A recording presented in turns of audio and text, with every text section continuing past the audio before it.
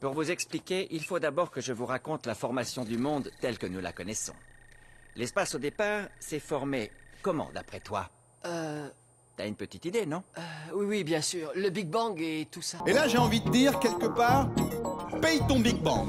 Hop Voilà. Exactement. L'univers, au début, c'est une singularité. Une singularité, c'est un point d'une densité infinie et d'une taille proche du néant. À un instant de son existence, ce même univers et toute sa matière a été grand comme ça.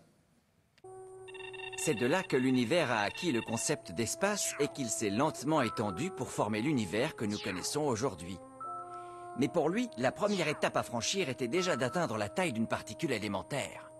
Puisqu'au départ, il était de dimension nulle, en s'épanouissant, il est resté un temps d'une taille inférieure à celle de la plus petite des particules. Ce temps est ce que l'on appelle le mur de Planck. On estime sa durée à 10 exposant moins 43 secondes. C'est l'étincelle de temps pendant laquelle Noho a contrôlé le monde, Dixit la princesse de la Lune. La période de chaos où la matière n'obéissait pas aux lois de la physique. Mhm. Un monde monstrueux où tout était consumé et broyé par une chaleur et une pression infinie. C'était littéralement l'enfer. Mais quand l'univers a dépassé la taille d'une particule et que la matière a pu donner la forme au temps et à l'espace, selon les lois de la physique, les choses ont changé. Hé Et moi, c'est là que je décroche Le temps et l'espace ne sont pas distincts du simple point de vue de leurs coordonnées cartésiennes dans l'univers. Autrement dit, l'axe du temps et l'axe de l'espace se définissent par les mêmes coordonnées positives. On appelle cette période le temps imaginaire.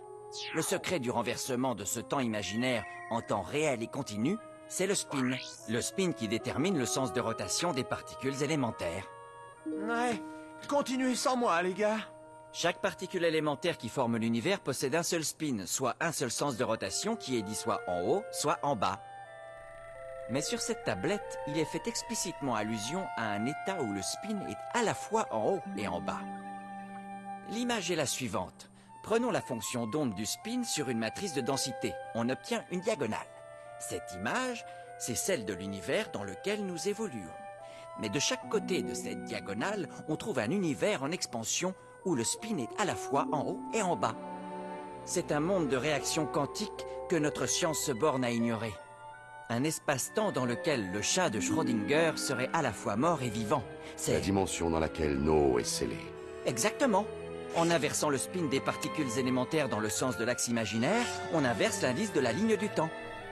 Tel est le monde dans lequel Noho a été rejeté, un monde dont les lois nous sont parfaitement étrangères. Voici la carte de l'espace-temps que j'ai dessinée dans un espace à huit dimensions, incluant l'univers de Noho tel qu'il est décrit sur la tablette. Si le point lumineux représente notre position actuelle, alors la nébuleuse du sablier se trouve dans l'autre côté du vortex. Du fait que la Terre, elle, y fonce en droite ligne, il nous faudrait aller plus vite que la lumière pour y arriver avant elle. Mais tellement pas. Pardon, mon lieutenant, mais en admettant qu'on arrive à la doubler, comment on fera pour la remettre à sa place dans le ciel? Mhm. Elle n'a jamais quitté sa place dans le système Sol. Hein?